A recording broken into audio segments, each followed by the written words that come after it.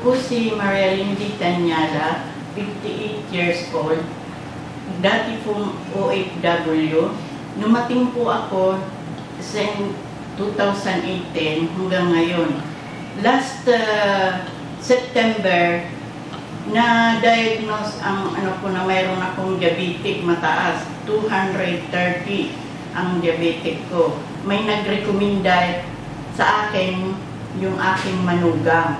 Sabi sa akin, na isubukan mo itong kapinato dahil maganda po ito.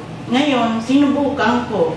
Nung makainom po ako ng isang beses ng kapinato, nawala po yung mga sakit-sakit ng katawan ko, tapos yung namamanhid yung paa, nawala po siya, ito namamanhid, nawala din nung uminom ako.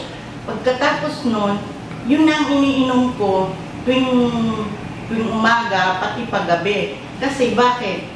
Eh nakakagaling sa akin. Eh meron akong ano, maliit na tindahan.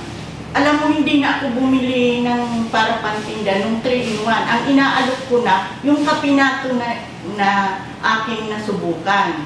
Galing nga sa aking manugang na rin puminda sa akin. Pagkatapos nun, eh ano, yung naging mabili na sa tindahan ko, dahil inaalok ko na araw-araw, pati na kapatid ko, yung mga kapitbahay ko, hanggang ano, yung apat na box, itong pack box na ito, saglit lang, 2 to 3 days lang, ubos na.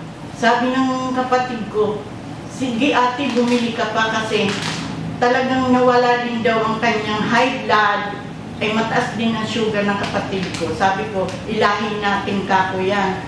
Sige, pagpatuloy mo pa ako pag inom ng kapinato na yan, bibili at bibili ako. Dahil kung kayo mayroong diabetic o high blood, bumili na kayo nito kasi affordable naman eh. Mura lang. Talagang mawawala yung mga sakit nyo sa katawan, yung mga sakit nyo sa kasukasuan.